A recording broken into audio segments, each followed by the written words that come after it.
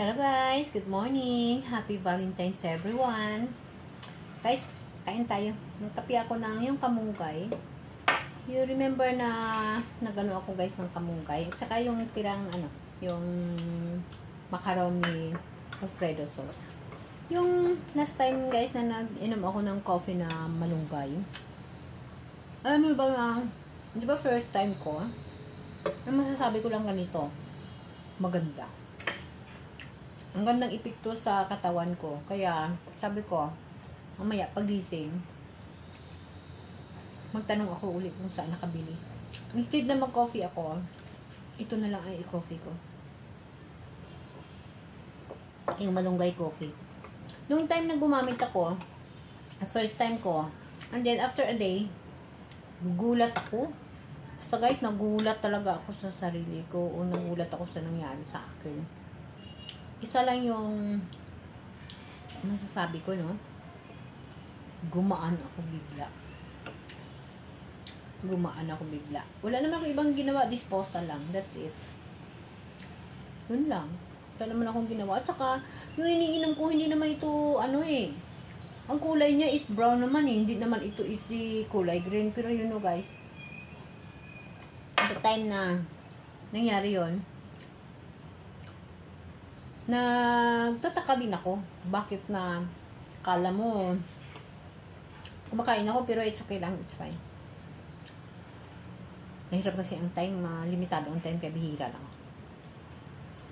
Akala mo yung updo ng kulay ng updo, yun. Hindi mo hindi naman ito iniinom ko, di ba? Pero hindi ako nagtataka dahil na, siyempre, may related din ako sa tinatawag ng mga medical na yan dahil sa mga nangyayari sa katawan, di ba? Kaya hindi ako nagtaka. Kundi, parang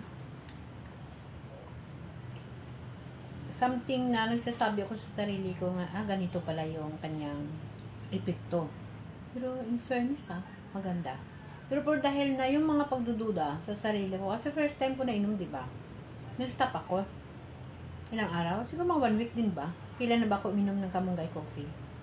Naginto ako kasi inobs- inobserbaran ko uh, again yung sarili ko kung ano bang mangyayari after no na naramdaman ko in a day. After one day na pag-inom ko na naramdaman ko na ang gaan ng pakiramdam ko. Tapos pag mag-dispose ako. So nice. Parang ganun. Kahit na nakapagtataka. Ginto ako. Sabi ko try ko nga. Baka mabalik yung dati ko Tama kayo. Kagabi, kahapon, sabi ko, ay, bumibigat na naman ako. So, parang, sarap ah. Sabi ko, ulitin ko today. Ito. Inulit ko siya. Ngayon guys, dahil after one week ako nagbalik na nag-inom ng kamunggay coffee,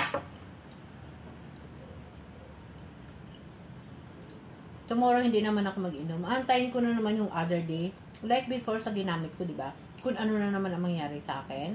At kung ano naman ang feeling ko. Sinishare ko to sa inyo kasi makanta sa pakiramdam eh. So, malay ko kung baka i-try nyo rin, di ba? Yung mabibigat yung mga pakiramdam dyan at saka mabibigat yung mga chan. Ang ganda eh. Kaya try ko ngayon. And then, kasama ito sa mga health lifestyle, di ba? Ganda ng epekto niya. Kaya ang gagawin ko ngayon, nag-inom ako today, tomorrow wag naman muna. And then, antayin ko naman yung pag tinatawag na disposal natin, ano? Kung ano naman ang mangyayari sa akin. After that, mag ano na ako, mag-conclude ako sa sarili ko kung ano talaga yung benefits na nangyari sa akin. Di ba? First time, second time. First time, kamanghang-mangha yung mga nangyayari. So, Nag-stop muna ako, nag-observe sa sarili ko. And now, nag-ulit ako nito. So, titingnan natin. Titingnan natin.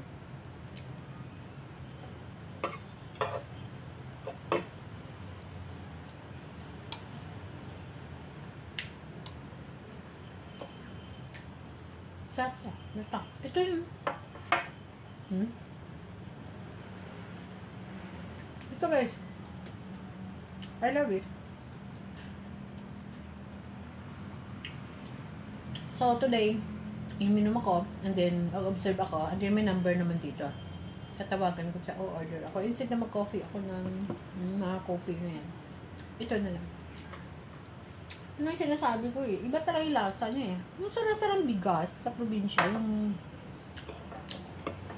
yan, at saka may kamunggay dito yung sa sarap talaga. Especially sa pakiramdam. Gumaan ako.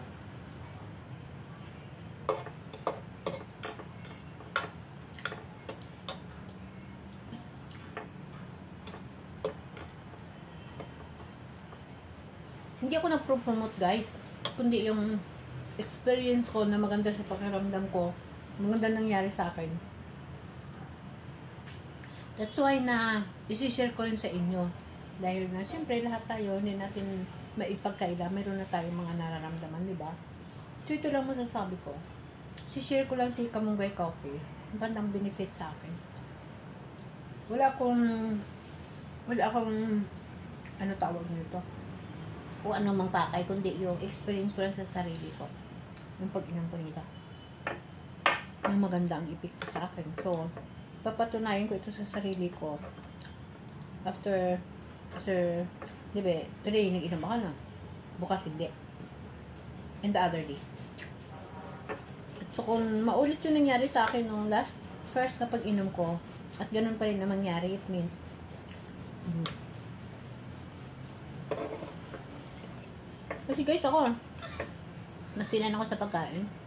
May maintenance ako sa pang digest o kaya pag hindi magandang pagkaluto at saka hindi pagka ano yung kinakain ko. Na-hospital ako sa tiyan lang sa sakit ng tiyan. Nasilan ako sa pagkain masyado sobra. Kaya may maintenance ako dyan. Pag kumain ako na parang hindi sangayon at parang hindi ata nalinis na maayos or what, wala po sa, hindi ko man inaano-ano, pero realidad to. Dahil ako yung nagkaroon ng maintenance. Pag makakain ako tapos parang may something na inilagay. Yung, halimbawa yung, may, merong, ang tawag, is MG na tinatawag. Eh, umiiba yung pakiramdam ko. Kaya, meron ako maintenance. Meron ako maintenance. Lagi ako na emergency before nung hindi pa ako napadoktor. Yun pa ang dahilan may nakain ka na hindi ka natunawan, may nakain ka na hindi magandang pagkaluto, may nakain ka na may something na basta parang ganoon. Kaya sa labas pinipili ko yung kinakainan ko. Kumakain ako sa labas pag kilala ko at saka mainit. Pero pag dito sa bahay, hindi ko mainit kinakain ko. Kasi ako nagluluto.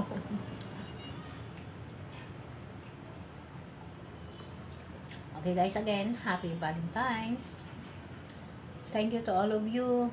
Succeeding 1,000 subscriber. So, thanks God.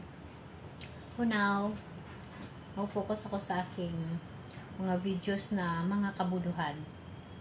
Yan naman yung i-gift ko sa sarili ko this Valentine's. Diba? Na makapost ako sa mga kabuluhan na kahit papano, makatulong sa mga tao na mayroong mga karamdaman na kahit papano, meron silang konting idea. Like me. Before hindi pa ako sumasali dito sa tinatawag na YouTube, lahat na pamaraan sa YouTube sinisearch ko. Diyan ako kumukuha kahit anong bagay, diyan ako kumukuha. Kaya natututo at natututo ako. Kaya malaking bagay nang maitutulong ng YouTube. Pag mayroon kang pagkakataon, huwag lamang laro, huwag lamang kung ano-ano, mag-search ka kung anong bagay ang dapat mong gagawin. Ultimo sa paglilinis, ultimo sa pagkain sa mga recipe, ultimo sa lahat ng mga bagay. Pati nga sa mga kuko, sa mga buhok. Excuse me, sa mga sakit, lahat. Sa YouTube ako kumukuha. And now, ako nandito na ngayon, kaya yung lahat naman na experience ko rin, share ko rin dito dahil ang YouTube malaking bagay na makatulong sa akin lalo na sa mga alternative alternative na yan. Napakalaking bagay. Dyan lang ako humuhugot. Hmm. tingnan nyo guys. Mayroon siyang ano eh. Oh, mayroon siyang parang pudpud siguro. Kasama na ito sa kasi hindi man siya matodo hinalo-halo diba kasama na ito siguro sa may coffee at saka yung kamunggay. Yan. Basta, guys, napakasarap. Maganda ang epekto sa sarili ko. So, after other day, isi-share ko ulit ko ano ang talagang final na, na nasa isip ko kung ano para sa akin na. Kaya, guys, thank you very much. Again, happy Valentine's, everyone. Thank you to all of you. Hmm, bye!